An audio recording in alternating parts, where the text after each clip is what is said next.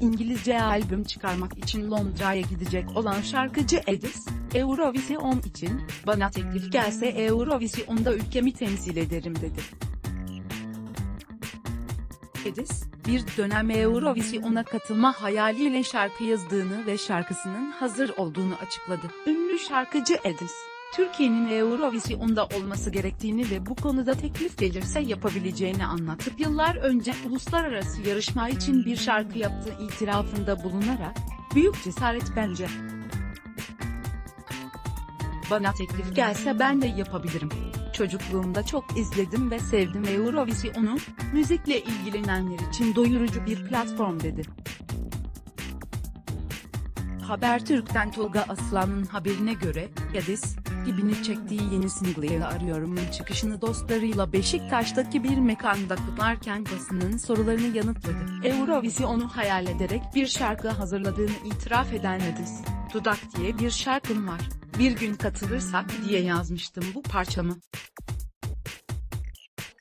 Katılamadığımız için ben üzgünüm. Uluslararası bir yarışmada olmalıyız ülke olarak. Sertab Erener'in birinci olduğu günden mutlu olduğum zamanlardan biriydi dedi. İmitasyon komik ve anlamsız arıyorum şarkısı klibinin bazı sahnelerini açık alanlardan ve metroda çektiklerini belirten Edis, bazı Türk şarkıcıların, yabancı starların kliplerinden esinlenmesini komik bulduğunu ifade ederek, önemli olan onu imitasyona dönüştürmemek.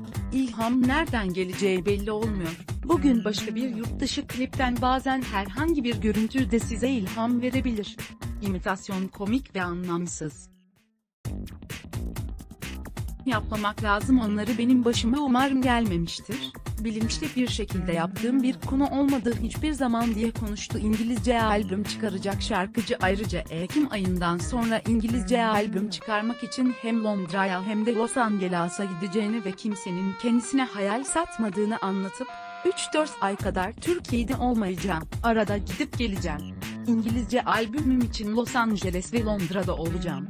Aleyna ile aynı şirketteyiz o da güzel gidiyor, onun şarkılarını dinliyorum. O da benimkileri dinliyor, koalisyon yapıyoruz. Ben de 6 aydır çalışıyorum şarkılarım güzel, profesyonel bir ekip var, sıradan insanlarla çalışmıyoruz. Birileri bize hayal vaat etmiyor. Sonuçta o şirketten yatırım almak kolay değil. Bu konuda bazen nokta nokta nokta kaynak bağlantısı, T24 Adblock'te,